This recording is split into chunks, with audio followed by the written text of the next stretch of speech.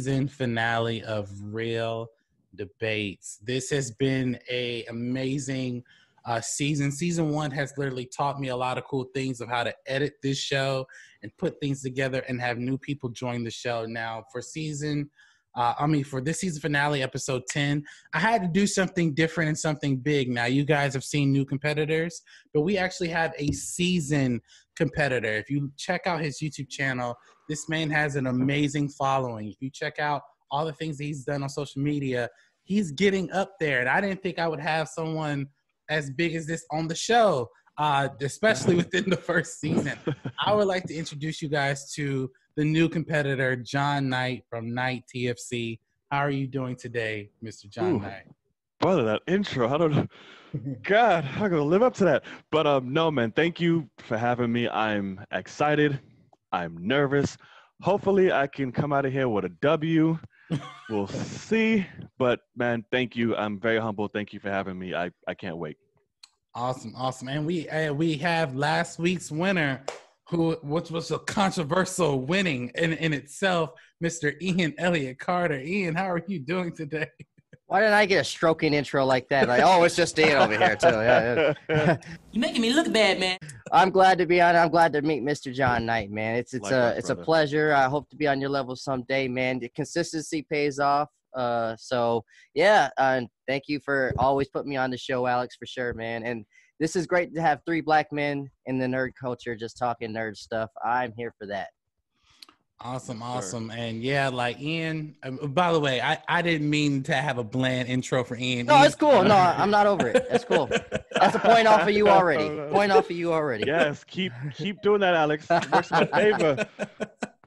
but Ian, Ian is amazing. I love the work that he does on his channel and also across the channels that we do together. But um, I will be going against John Knight, and the last debate was actually against Ian, and we know how that turned out. You know, we don't have to bring that back up. But you know, this That's debate is is is the question is what is the best comic book movie ever? Like and we and I gave John the opportunity to choose his, and I chose mine. Now, John will be representing Avengers Endgame.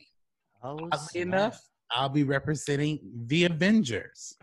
So this is going to be a match where I'm very interested to see where this is going to go. Like I stated before, Ian is our moderator, and I'm going to pass it down to Ian. So, Ian, take it away.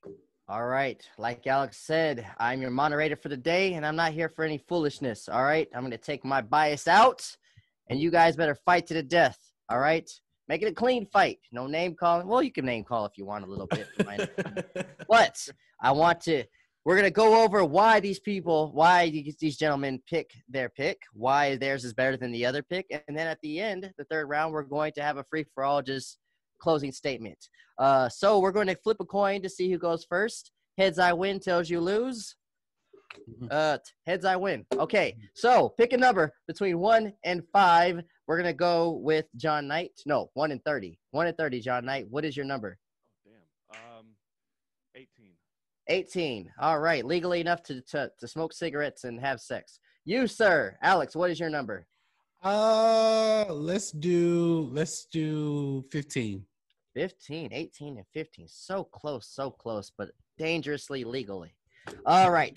So the so the answer was actually 25. So John Knight will be going first.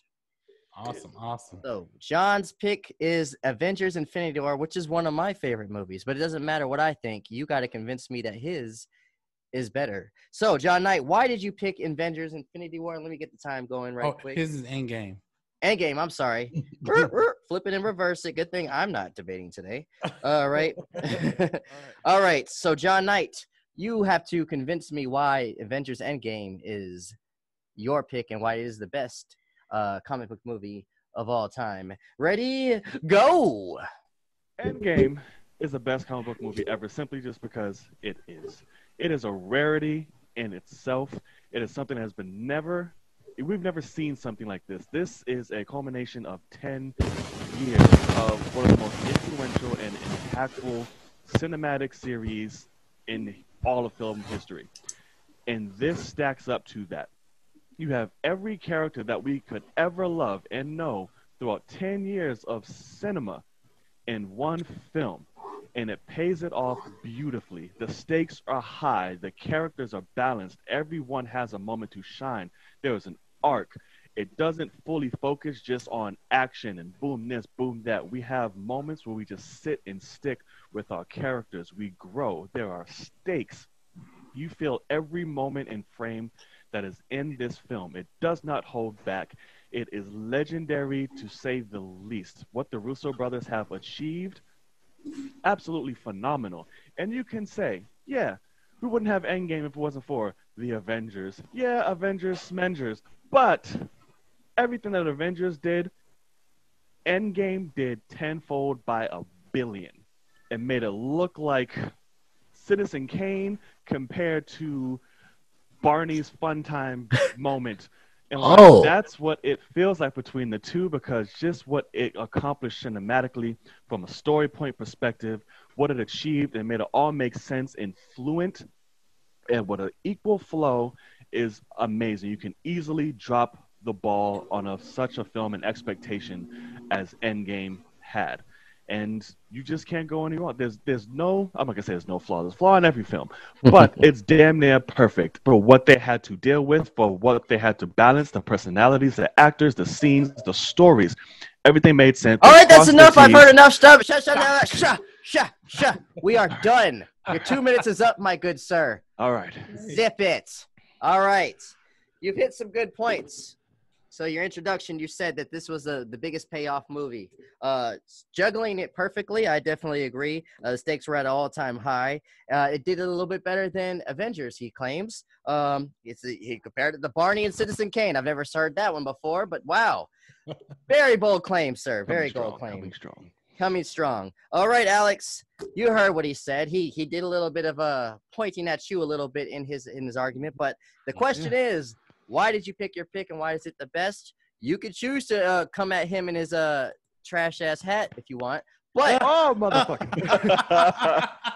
but Word. that's up to you. That's up to you. You need to be debating Okay, your okay. pick, which is the first Avengers, the one that set it all off of these team movies. Alex, are you ready to defend your rights I am ready. I am so ready. All right, you got to fight for your right to party. Ready? Why is the Avengers your pick? Go.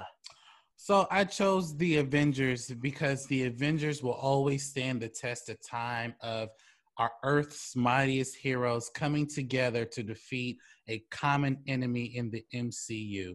This is the very first time where fans across this nation saw Captain America, Iron Man, Thor, Hulk, Black Widow come together and it wasn't a significant come together like they didn't even want to work together and they're fighting amongst one another but they come together to def- to defeat Loki and the Chitauri this movie sets the test of time in the president and the presidents of every team up movie since this movie. Yes we had the x-men come out first but nobody got excited for the x-men like they got excited for the avengers. Yes Uh. john made a comment about you know this you know this movie wouldn't you know Endgame wouldn't be here if it wasn't for the Avengers, which is actually very true. But you know the Avengers solved their problem without time travel. So Oh. this was a really good good interpretation of how to set up their characters, how to essentially humanize them in, in a way where this is not their movie. This is a collective movie. And if I cannot rely on someone like Cap or Iron Man, I'm going to die or I'm going to lose this fight. And this is where you take different characters from upscale projects and they work together. They build a they build a sense of uh, of, of of a team. Um, working with Nick Fury and Shield. This movie is the best comic book movie ever put together in the history of our time. I yield my time. Ooh, with 20, no, 15 seconds to spare. Impressive, impressive round right there. He's claiming this movie stands the test of time. Hold on, sir. I'll call on you in a second. All right. He says it, sta- it stands the test of time. This is the first time we've ever seen these guys getting together. Uh, this is a timeless flick. You know, we can argue that both of them are, but you know, this is a timeless flick. I definitely agree with him. He said they solved the problems without time travel. That is a big one right there. that is one that you definitely got to remember right there, brother. And it's a team coming together. You know, it's not. You know, uh, it's it's a it's a great team up flick. You know, of course the X Men did it, did it as well. Of course, his movie has a team up as well. Some would say a little bit more in his, but in know, we'll we'll let them battle that one out. All right. So, did you have any comments before we go on, John? Uh, I'm just ready to go because you. Oh, the like, oh, Oh, he's ready to go. He's angry. You've done pissed him off. You've disrespected him. I disrespected his hat. You've disrespected his movie. He is angry. Fuck the Yankees. But Ex- All right, John. So you started that last battle, so we're going to start with Alex this time. Alex, oh, and you did a little bit of picking at him as well. You guys already, before you even got to this round, you've already been, you know, poking at each other. It's it's real cute. Maybe you should keep your hands to yourself and social distance. All right, can't promise. Alex, I want you to start us off right here. Why is yours better than Avengers Endgame? Why is Endgame not the best comic book movie of all time? Ready, go! Now, this movie is arguably the biggest movie of all time from a box office perspective, from a culture perspective, from all these great perspectives. But what this movie fails to do is to deliver a satisfying um, conclusion to this story. Why don't we just find baby Thanos, you know, and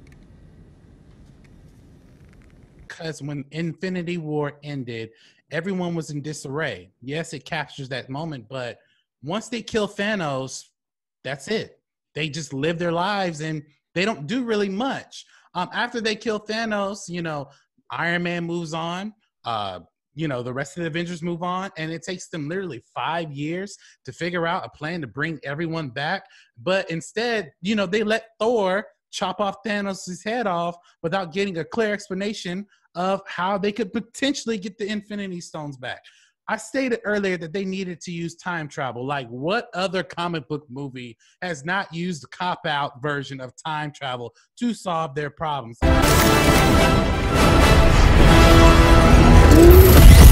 I mean, let's be clear. I I think revisiting old times like Age of Ultron, the first Avengers, What do you think? Maximum occupancy has been reached. Take the steps. Yeah. Stop, stop. Guardians of the Galaxy was a cop out because at the end of the day, they didn't really need to go back into time to find these Infinity Stones. They could have def- definitely come up with the plan that shouldn't have taken up really over five years for them to save the planet and bring everyone back.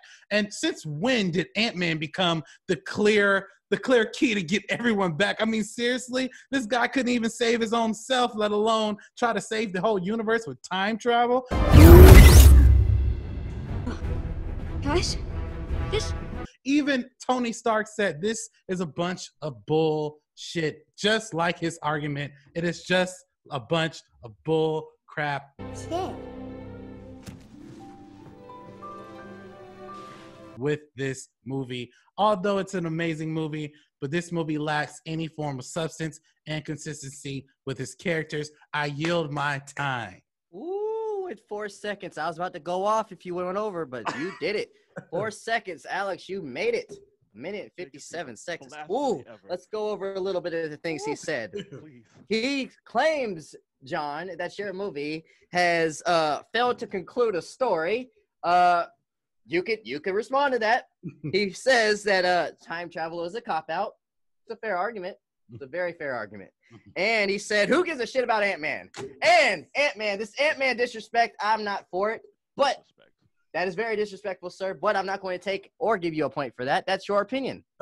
That's your opinion. But he did make a great point with the time travel cop out. It's a very good point. You had to convince me, sir, why it's not, and why his movie is is not as good as yours. Uh, John, are you ready, my my big I'm- good I'm friend? ready. All right, you ready for this jelly? Shake it. Go.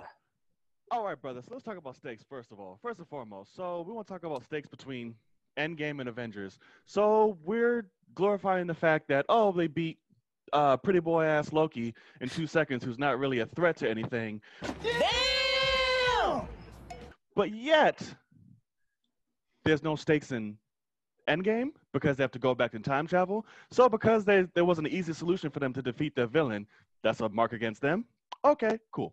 So satisfying ending. So a satisfying moment for 10 years worth of characters all getting wrapped up in a bow. Not to mention our main six. So Tony, arc complete throughout 10 years. Arrogant, asshole, caring, sacrificing, whole nine. Cool. Cap finally got his dance. He finally lived his life that he thought he wanted to, but he finally got the life that he deserved. Cool. No wrap up there. You're right. Um, so uh, Thor, uh, Hulk is still gonna be within the you know universe and She-Hulk and all that continued story. Thor has a continued story as well, which will continue beyond the universe. Black Widow dead. So everybody literally has a wrap up and is paving the way for the next future generation of Avengers. But no, no satisfying ending at all. You're absolutely right. Congratulations, you played yourself. So five year plan, Thor and anger. Okay, so five year plan it took them so long. So everybody that could possibly do something about the situation that isn't emotionally fucked up, damaged, or frightened of the events that happened prior is dead or fucked up emotionally. So who else are they going to do to help solve that problem? To go You ain't got the answers, man. You ain't got the answers. Kanye. Five okay, years, don't worry. bro? I'll wait. Shut up, Alex. Let him um, talk. Cop out. What what are we copping out of again for end game? I it was so much nonsense. I forgot. Destroyed stones. So with the store with the stones destroyed and nobody else to do a damn thing about it, what else are you gonna do?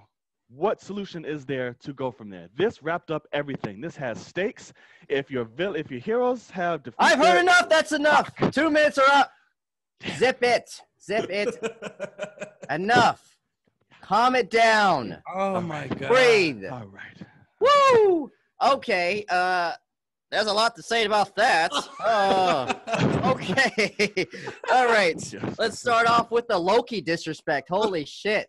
Okay, Ant Man and Loki, what the hell did they do to you guys? God dang. But it's a fair assessment because he said the stakes were obviously a lot smaller, which he is absolutely right. The stakes are minimal in, in this one. And his point about the character's growth to this conclusion, he's absolutely right. We've seen Tony Stark go from, you know, a narcissist to, you know, a caring person that's willing to put it on the line and everybody getting their conclusion like Cap and, you know, the story going going further with people like Thor and, and Hulk. And he did mention the, the deaths with, it- with their there. So I think he did uh, make some great points to counterpart what you said, Alex. Um, a lot of great wrap ups and uh, his point too about uh, what what do you do from there when you have no Infinity Stones? Why what what do you you could come up with a conclusion? Well, what else are you supposed to do, Alex, when you got no Infinity Stones? So I guess I understood his point when he says, "Well, you got to go back in time to get them because they're they're gone. They're no longer existing." So.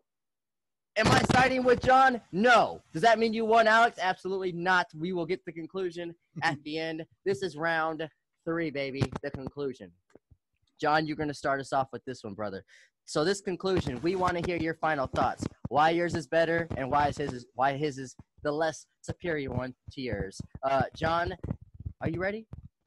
I'm ready. Game face, man. Get loud. Let's do it.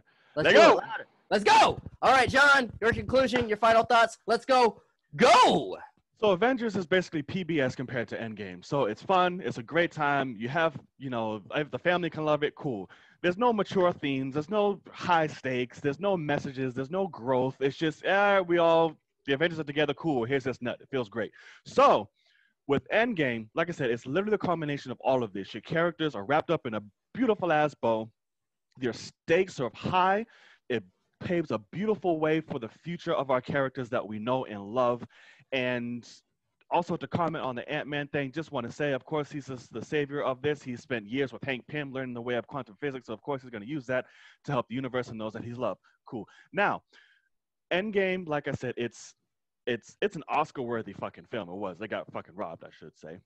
I agree. Um, it's just so beautifully handled. What the Russos have done has never been done before. It is truly magical. It is epic in scale. It is epic in execution. Hats off to Joss Whedon for starting it. You did great, brother. But the Russo brothers literally said, "This is mine," and created a moment in history that will forever be remembered and will forever be referred to and will forever try to be copied and future installments of universes, whatever may be. How can we get to that? Endgame set the standard. Endgame made grown men fucking cry with fucking Iron Man. Like I straight bitched in the theater. Like they brought people to their knees with the conclusions of these characters that we've loved for 10 years. Started with Avengers, cool, but it really tied the knot for all of us in Endgame and gave us a beautiful send off and made us remember why we loved Avengers so much, but we wouldn't be able to have that appreciation for the first Avengers if they didn't tie this off the way that they did. I reclaim my fucking time. Good job, bro. Ooh, that was a good round, man. Good round. Good points. Good points. He did it in a minute and 49 seconds. Uh, he said basically your movie had no messages, Alex. He said he said I'm not here for the Ant-Man disrespect. I'm going to give him his flowers, and he's the savior of the movie. Uh, yeah, he's. I would say he's one of the top five. Uh, he said again, he juggled it perfectly. He said uh, this movie will be copied. Um, you know, that's that's a controversial thing. You know, this movie could be copied from you know the, his movie. So we, we we'll, we'll we'll we'll get into that. Um, and it did make me cry.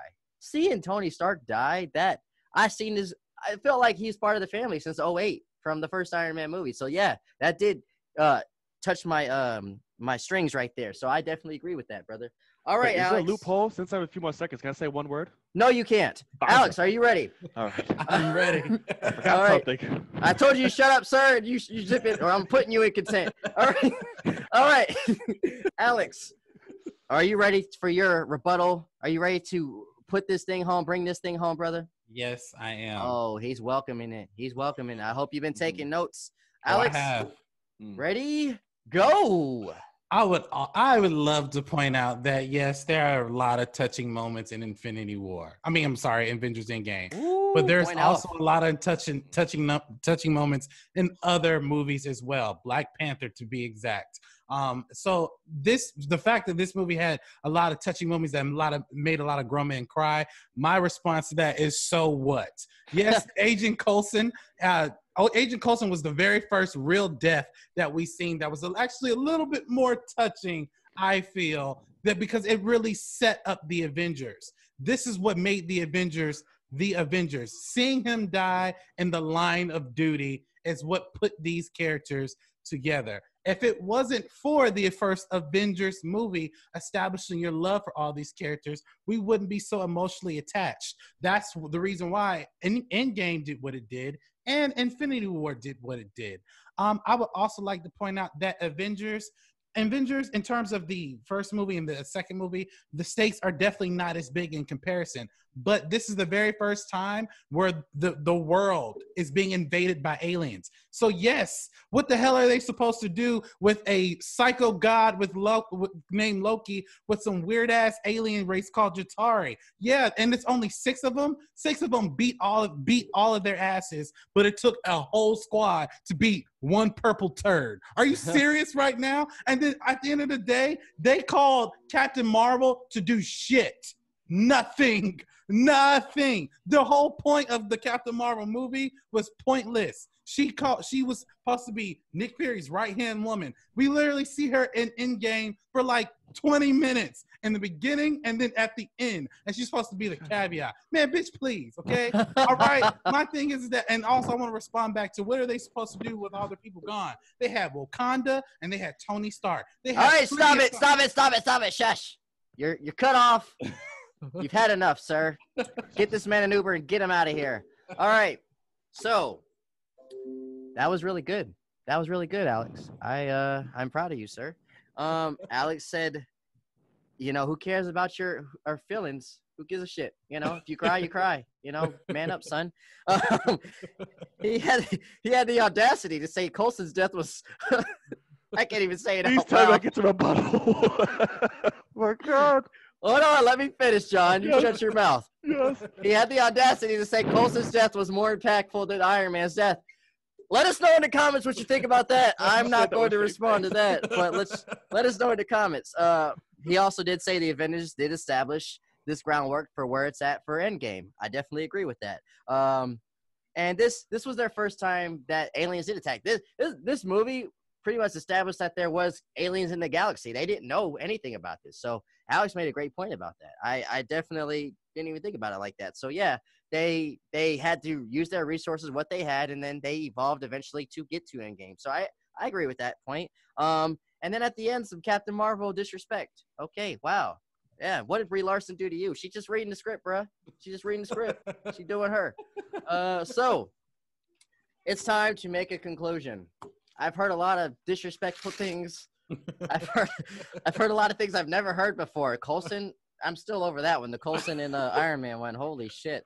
Uh, you might be canceled for that one, bro. Uh, but uh, let's let's let's recap real quick before I make my de- uh, de- decision. And so, in the first round, we were establishing why you picked these ones. Uh, I think Alex and John did do pretty good with the with their analogies. Uh, but I'm gonna have to give the first round to Alex. Alex, I think he hit hit it home with uh with the time travel point when he said, uh, "We did this all without time travel." Great point. John later on uh, elaborated why they needed to do it because they didn't have stones. But you know, in the first round, I think Alex did uh, make make a good point. Like, yeah, they didn't need this uh, this cop out of time travel. They just handled it with their bare hands and knuckles. So that's what it had to be sometimes to be like that. Uh, so second round. This one was a funny one, uh, but I think I'm gonna have to give this one to John because his uh his overall point about growth in in the MCU and how it got to where it's at now. Yeah, that that did make uh, Endgame have the the greatest payoff of Tony not being that selfish person anymore, of of of, of Cap finally getting getting that rest he deserves because he's been working his ass off since he became a super soldier. You know the the emotional deaths that came with it. So the growth, yeah, Avengers definitely hit that that's that starting point, but that Endgame did do a good cap on that. Um, but now we get to the last round. The last round, it's a it's a crazy balance because I think it's not as easy as you think it was because you guys both said some dumb things, but you both did, said some smart things. Um, so um, the best point that John said was about the emotional cries. Um, so yes, as much as Alex is like, you know, man up, I did tear up. I did tear up when it saw. Nobody wanted to see see uh, uh, Iron Man go. As much as we kind of saw it coming, it's it's it's as much as you see it coming when it's actually in your face. You know, it's a different thing. Um, and he, he did make those points about juggling. However, Alex did make a great point too about uh how they be, how they assembled for the first time and work together as a team, and that's never happened in movie history. Honestly, we we have great team up movies like, of course, X Men and other like spin off movies that are not uh in in comic book movies, but the way that uh, Josh Whedon uh found the balance in this was amazing. Your argument about uh the Russos doing it better, understandable, but Josh Whedon definitely did put the groundwork on making it, you know, making that blueprint amazing, and everybody is going to copy it from days on. This one, when John said that uh, everyone's going to copy Endgame, well, I think Alex's point about the groundwork of Avengers is where it where it actually started. So you can't take that one from him. But the Coulson versus Iron Man thing, man, I might have to I might have to give it to John, not because of that. That might have been one of the dumbest things I've ever heard in my life. That's your opinion. But I do think that the final round was fought a little bit better with John. John, congratulations, my new newcomer and uh, first winner. Woo! Thank you, big homie. Yeah, first one. Oh my god. You, Good, you- good job, bro. Good job. It was a good, it was a good battle. A lot of laughs. I had to keep my composure, but it was very good fought. Would you Oh like to say God. anything, brother? It was amazing. Oh God, I wish we had more time. Like I just want to hear. I just want to go back and forth with you so much. It was so much fun. And Yeah. so many points I missed and wanted to do, and just so many things, points of his I wanted to touch on and rebuttal. I was like, oh my God, this is so much fun, guys. And thank you again for having me. I'm glad. I'm the first people's champ. You know, it's right. um, but again, thank you guys for having me. This was amazing, Alex. You made a worthy opponent, good sir. Thank you so much.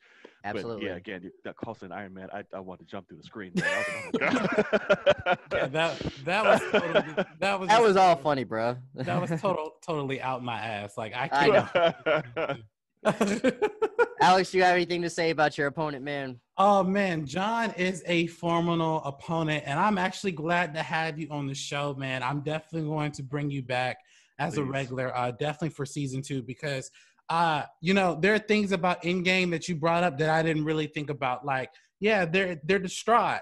What the hell? Yeah, they're going to mope around. Like, they're not going to just jump into action. And that was a really good point. Also, I like the point that you made about Citizen Kane and PBS. I mean, I mean, even though I still think the Adventures is the best comic book movie, I mean, they didn't really have that much to deal with like they did in Endgame. So that was a very Right, hard fought battle, man. I, I really enjoy much. the so. confidence that you brought to the match. Man, this was great for the culture, man. I'm glad to be a part of this, man. I thank you for bringing John on, man. I'm I'm, glad, I'm happy to meet you. Hopefully, we can have more conversations and Oh, collaborations in the future, man. Oh, Shout out to you for being a badass moderator, dude. Crazy I'm the motherfucker, best. but I'm the absolutely, best. man. He he is definitely the best moderator we have had. yeah, for, for sure. I love it.